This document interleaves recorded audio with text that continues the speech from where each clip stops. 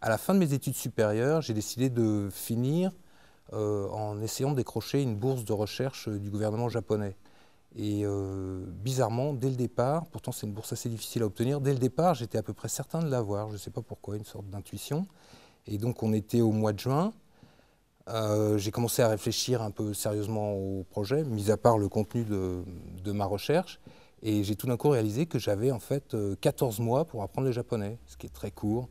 Donc euh, je me suis inscrit au Langzo, mais les cours de Langzo ne commençaient qu'en fin octobre. Donc euh, j'étais beaucoup trop impatient, j'avais que 14 mois, donc je suis allé acheter une méthode à 6000. Et très très vite, je me suis pris au jeu, c'était vraiment très drôle. C'est-à-dire non seulement j'étais forcément très motivé pour apprendre la langue, mais en plus c'était véritablement un jeu. Et euh, surtout, je me souviens, bon ça remonte quand même à quelques années, mais je me souviens toujours d'une des premières leçons, je crois que c'est la leçon 8, la leçon 9, euh, c'est l'histoire d'une jeune femme qui présente sa famille et qui donc qui raconte qu'elle a, euh, qu'elle a deux enfants. Et à un moment, elle dit donc euh, Kodomo futari ga arimas. Ça, c'est un truc que je reconstruis moi, parce que évidemment maintenant je parle bien japonais, mais ensuite elle dit Otoko no koto, ona no kodes.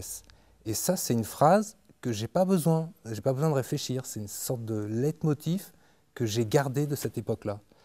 Euh, j'ai toujours trouvé cette musicalité euh, absolument fabuleuse.